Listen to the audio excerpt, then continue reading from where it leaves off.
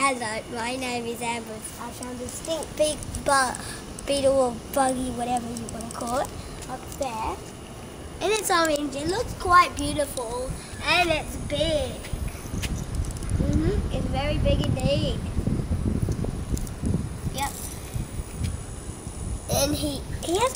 I'm not sure because he's very high up. He he might have blue or green spots on him, but the rest of him is orange and black.